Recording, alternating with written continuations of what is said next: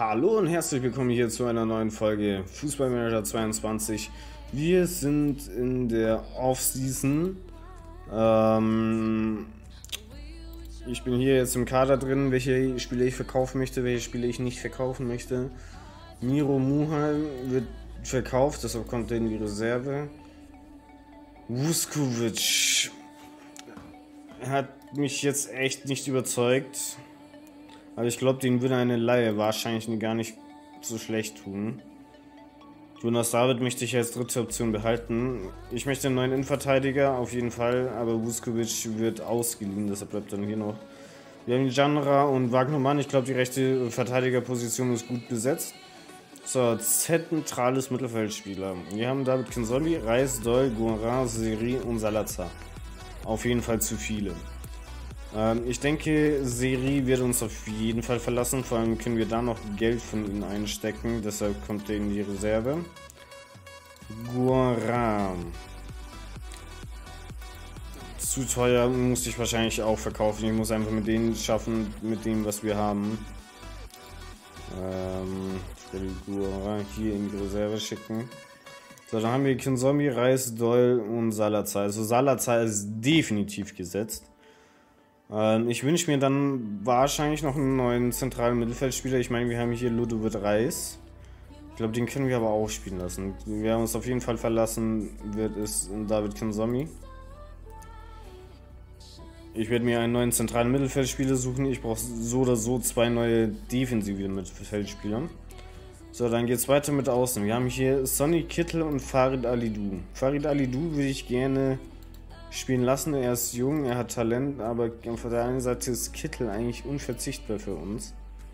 Wobei, wenn man sich die letzte Saison anschaut, ich meine, so gut war er jetzt auch nicht. Er war auch in Real Life öfters in Kritik. Und ich glaube, dass einfach mit 29 jetzt einfach seine Zeit beim HSV gekommen ist, wo er uns nicht mehr wirklich helfen kann. Deshalb auch werden wir uns von Sonny Kettel verabschieden. Bakary Yatta hat die letzten Spiele nochmal gut ordentlich aufgedreht, hat zwölf Tore geschossen, eine der immerhin Tore geschossen hat für uns. Ähm, deshalb wird der noch äh, da sein. Ahmad Alidou haben wir ausgeliehen vom Manchester United. Er wird bleiben. Mikkel Kaufmann werden wir verkaufen. Er kommt in die Reserve. Und Manuel Winsheimer würde ich eigentlich auch gerne verkaufen wollen. Oder verkaufe ich Mitrovic? Hm. Nee, es wird, wird Winsheimer sein. So. Dann schauen wir mal, was wir so auf Shopping-Tours machen können. Natürlich erstmal hier alle Spieler zum Verkauf anbieten. Äh, ich habe übrigens eine Sache gelernt in meiner privaten Karriere. Ähm, du kannst die Spieler hier teilweise in China für richtig gut Geld verkaufen. Ähm, wenn ich mir das nur kurz mal aufrufe, nicht auffällige Spieler, ich glaube, das müsste hier bei Transfermarkt sein. Ah, okay, Serie trotzdem 3,6 Millionen. Du kannst die teilweise so für krasses Geld nach China verkaufen. Und China ist immer ein guter Abnehmer. Probieren wir hier mal 1,6 Millionen an Shanghai Port. Und die bieten 1,6 Millionen, obwohl er nur 1,1 Marktwert hat. So, dann haben wir hier Miro Muheim, er wird verkauft. Eine Million. Dritte Liga, möchte ihn da jemand? Wien Wiesbaden? Ja, Wien Wiesbaden ist für eine Million interessiert. David Kin Zombie wird verkauft. Ich ähm, hoffe, dass wir 1,5 Millionen für ihn bekommen in der dritten Liga. Kaiserslautern, du steigst auf. Du kannst ihn bestimmt gebrauchen. So 1,5. Winzheimer wird verkauft. Für den hätte ich gerne noch irgendwie 3,5 Millionen, auch wenn es viel zu viel ist. Ingolstadt, hast du irgendwie Interesse? Ja, hast du. Und sie wollen nur ein Angebot von 2,5 Millionen, aber habe ich auch schon erwartet. Und jetzt Sonny Kittel. Ja, ich hoffe, dass wir 3 Millionen dann noch für ihn bekommen. Äh, den würde ich nicht gerne jetzt an einen Konkurrenten verkaufen, weil er doch noch stark ist. Dänemark, wie sieht es da auf? FC Kopenhagen. Ist nicht interessiert. Mitglied ist auch nicht interessierend. Brünn BEF. Aber nicht interessiert. Also ich würde schon schauen, dass ich ihn irgendwo verkaufe, wo er spielt. Panathinaikos Athen ist nicht interessiert. Wahrscheinlich, weil er zu teuer ist. Aris Thessalon Thessaloniki, er ist außerhalb. Pauk, Thessaloniki auch nicht. Hm, wo könnte ich die spielen lassen? Ne, nicht in Mexiko, ich äh, wollte Niederlande. Winzesse Arnheim ist nicht interessiert. Alkmaar ist nicht interessiert. Utrecht nicht interessiert. Okay, was ist mit Groningen? Auch nicht interessiert. Ja, verdammt. Okay, Spieleragenten beauftragen und wir haben Kittel für 3 Millionen. Was für ein Team ist es? FK Arsenal. Okay, das ist ein russischer Verein. Dann schauen wir noch kurz in die Jugendmannschaft rein. Da laufen auch einige Verträge auf. Und dann haben wir hier noch unsere B-Jugend. Weil ich glaube, unsere B-Jugend, da werde ich mich ganz am Anfang kümmern. Ähm, also, ja, jetzt keine Gedanken. Wir haben hier dann noch unsere Mitarbeiter. Ihr bekommt dann alle eine Aufgabe zugeteilt das nächste Mal. Ähm, Co-Trainer werde ich dich hier entlassen und einen neuen Co-Trainer einstellen. Tagio Banetta, das ist doch nett. Bis 25 und Gehalt so, dass es auch akzeptabel ist und du müsstest es eigentlich normalerweise auch annehmen. Ja. Dann gehen wir weiter. Also Siri für 3,6 ist fein für mich. So, Sonny Kittel ist doch mehr in, äh, dran interessiert als nur der eine Verein, auch Ingolstadt unter anderem für 3 Millionen. Aber da würde ich halt ungern einen Ligakonkurrenten abgeben, deshalb Verhandlungen abbrechen. Aber in Ural kann ich dich verkaufen, auch AFK aus Wien. So, der beste Spieler ist bei uns Daniel Heuer Fernandes mit einem Notendurchschnitt von 2,94. Bester jüngster Spieler ist Joshua Wagnermann mit einem Notendurchschnitt von 3,14. Bester Torschütze ist Alexandra Mitrovic mit 14 und Tor des Jahres hat auch ähm, Mitrovic. Und Lieblingsfan ist Tim Leibold mit 2951 verkauften Trikots und äh, Spieler des Spiels ist Tim Leibold. Also mit insgesamt sieben Mal. So, Sponsor wünscht sich Verlängerung. Ja, das können wir gerne machen. So. Dann geht's weiter. Es müssten gleich äh, auch äh, Auf- und Abwertungen kommen ähm, ob meine Spiele besser oder schlechter geworden sind. Genau, da ist es. Auf- und Abwertungsrunde. Machen wir mal hurtig. Zuletzt enttäuschend, unzufrieden, ja, kann man verstehen. Lude wird Reis, hat viel von Michigan gelernt, ist schön. Für Hansen ein verlorenes Jahr, war nur zweiter Stammspieler. Klarer, Rumme um seine Person nervt, okay. Aber er hat ihm keine Stärke gekostet. So, ja gut, jetzt kommen nur die von der zweiten Mannschaft und das ist eigentlich relativ egal. Ja, auf jeden Fall Ludovic Reis hat einen Sprung nach vorne gemacht, immerhin. So, das ist egal. Talent erhöht und gesenkt. Ach du Scheiße. Gehe ich hier erstmal nach unten. Die ganzen... Ah, da haben wir unseren ersten Abgang. Jean-Michel Seri verlässt uns. Okay, dann gehen wir wieder nach oben. Auch äh, Guara verlässt uns, Kittel verlässt uns und Winsheimer verlässt uns. So, Talent erhöht. Was haben wir? Salazar, das ist sehr schön. Und Talent gesenkt. David, okay. Gut, zum Glück. Und auch äh, David Kinzombie verlässt uns, Miro Muheim verlässt uns. So. Ach, hier haben wir enttäuschende Gesichter auf der Abschlussreihe. Viel zu feiern gab es ja wohl nicht. Man hört von, von allen Seiten. Die Veranstaltung ist recht schnell vorbei. Die Spieler müssen nur weniger Art Programme schreiben und stehen dann betreten herum. Hm. Crazy Quiz. Aber es kommen bessere Zeiten. Ich hoffe. Ne? Ich arbeite dran. Währenddessen können wir uns mal anschauen, was wir an defensiven Mittelfeldspielern haben. So, defensives Mittelfeld. Alle. Das hier wird eingestellt, nur beste Position. Und ich hätte auch gerne nur realistische Transfers. So. Was haben wir hier? Wir haben Diego Demme von SC Neapel. Wir haben Anton Starr. Die sind halt alle so teuer, ne? Die sind so unfassbar teuer. Was für einen Ruf haben wir eigentlich? Wir haben 12, 11. Hoffentlich geht der nicht nach unten. Hier mein Mendy von Leicester City, der fast eine 76 Gesamtwertung hat. Ja, die bist uns zu teuer. Ich meine, wenn ich hier meinen Finanzstatus anschaue, kann ich hier noch Budgetänderungen machen. Ich kann von sonstiges was wegnehmen, Infrastruktur was wegnehmen. Das kann ich auf Transfer drauf klatschen. Und auch nochmal hier von der Reserve kann ich äh, was drauf klatschen. Ja, einmal. Okay, das so. Das heißt, ich habe jetzt 18 Millionen an Transferbudget. Sieht wenigstens besser aus. Also defensives Mittelfeld brauchen wir so oder so. Ähm, ist nur die Frage, wen holen wir da? Ich möchte gern wissen. Ron Schallenbeck von Paderborn. Er ist 23. Hm. Timo von Bakayoko, aber das ist zu teuer. Wie viel kostet Giro Demme?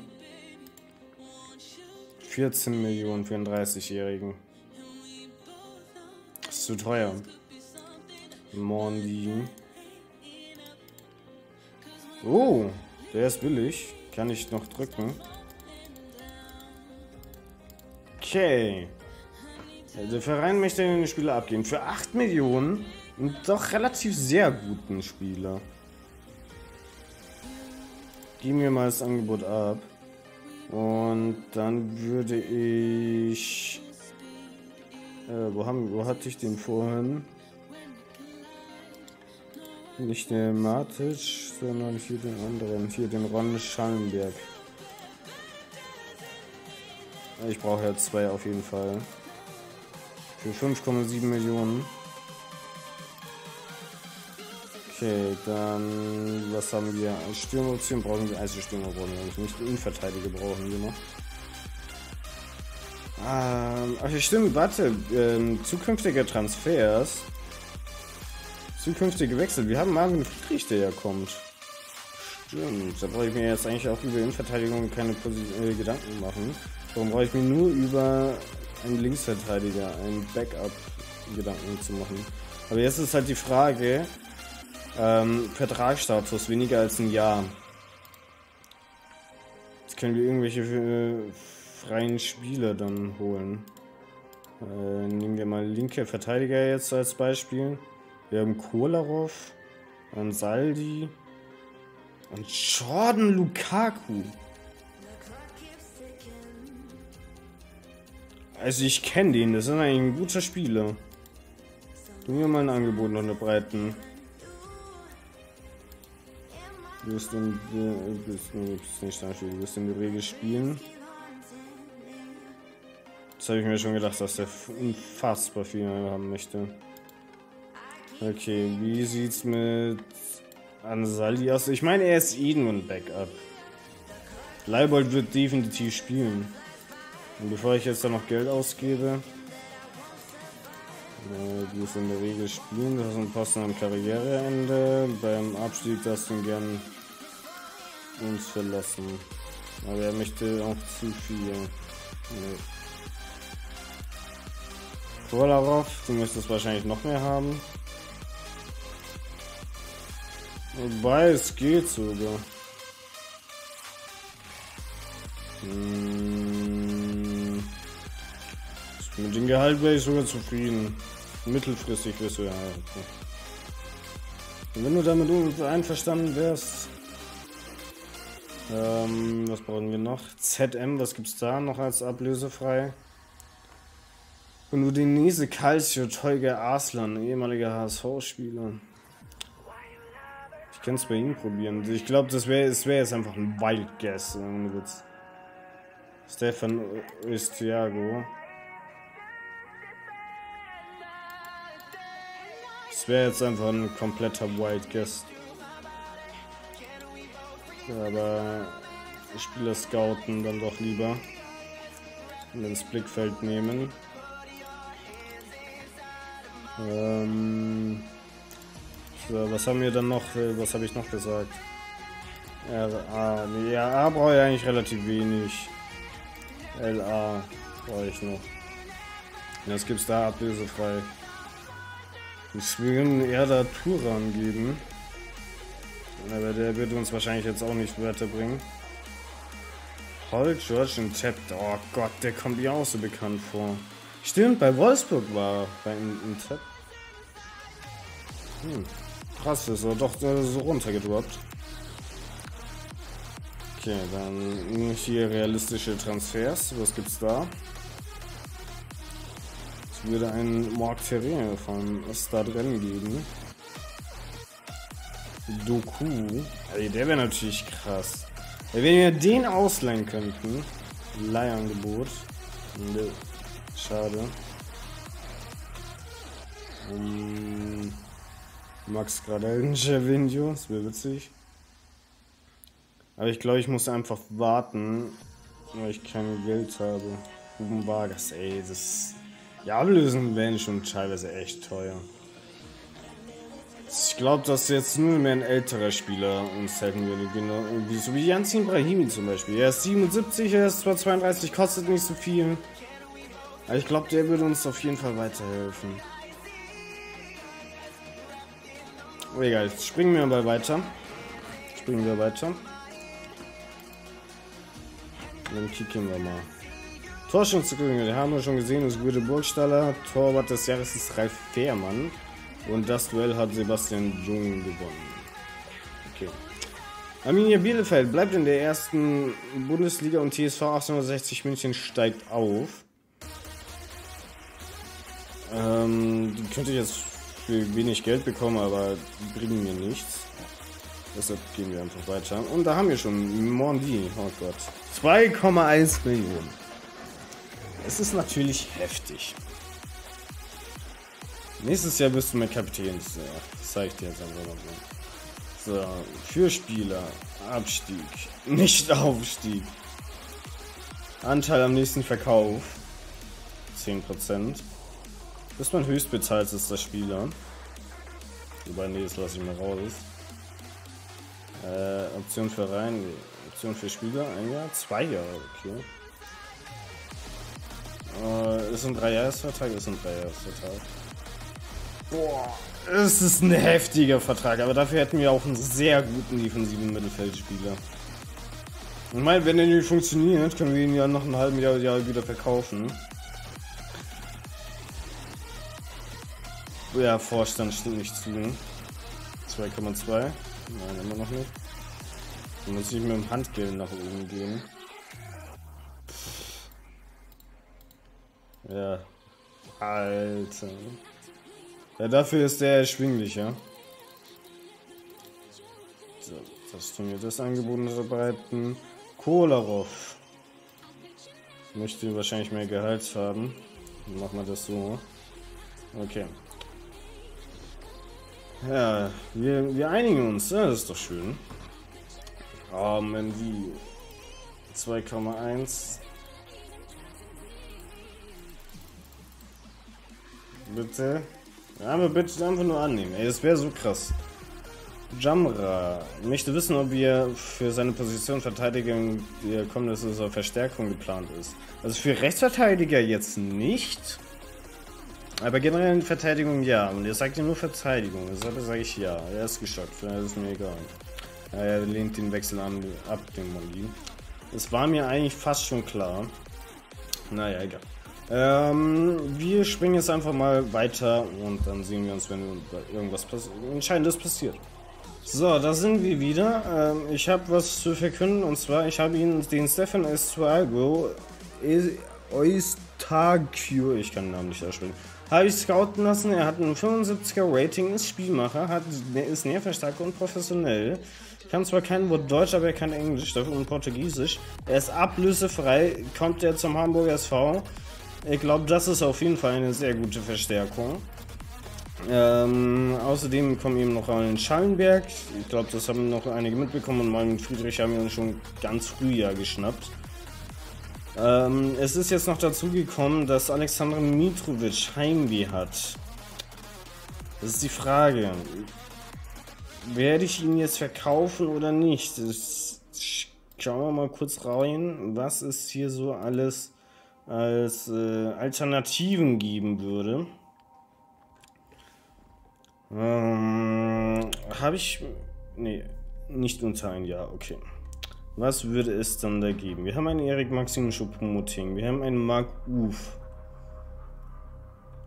Wir haben hier einen Paulinho, wir haben Edinson Cavani.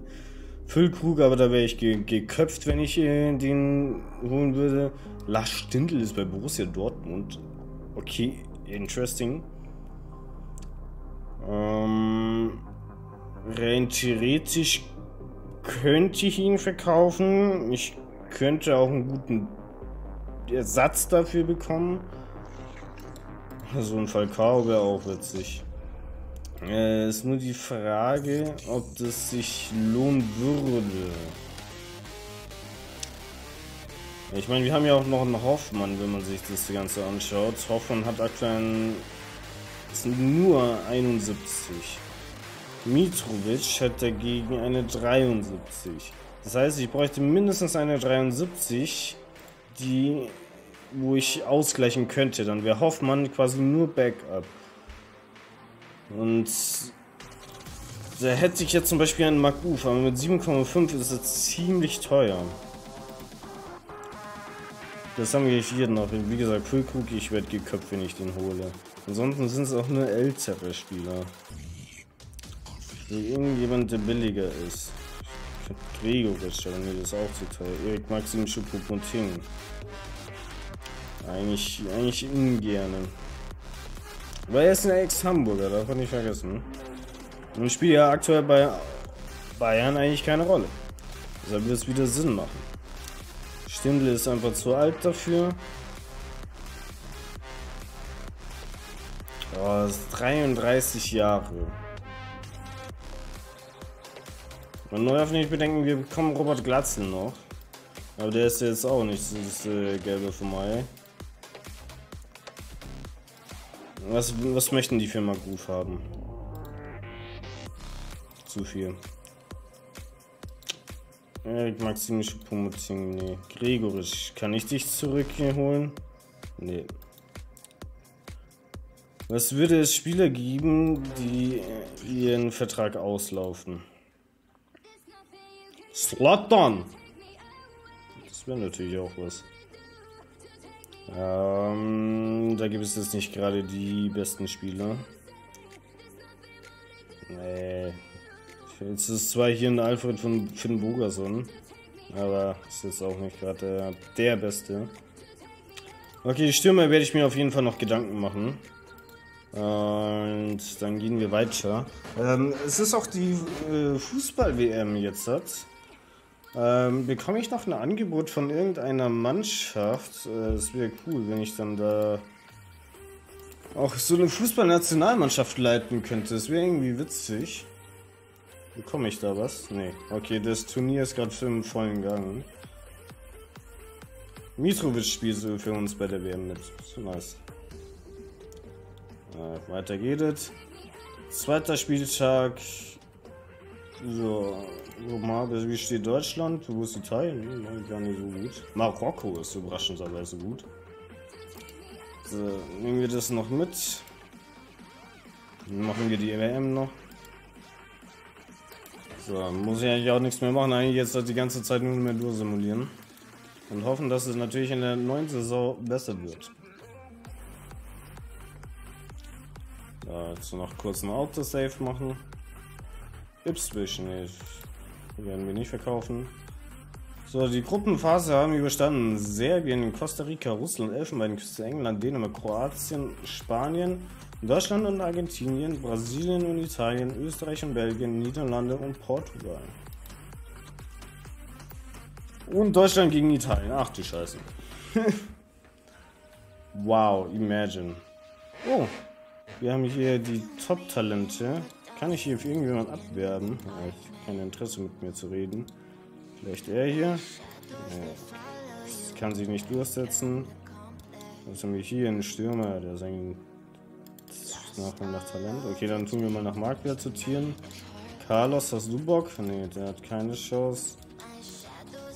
Er hier? auch nicht. Okay, ich kümmere mich mal. Vielleicht möchte sich da jemand doch spontan zu uns anschließen.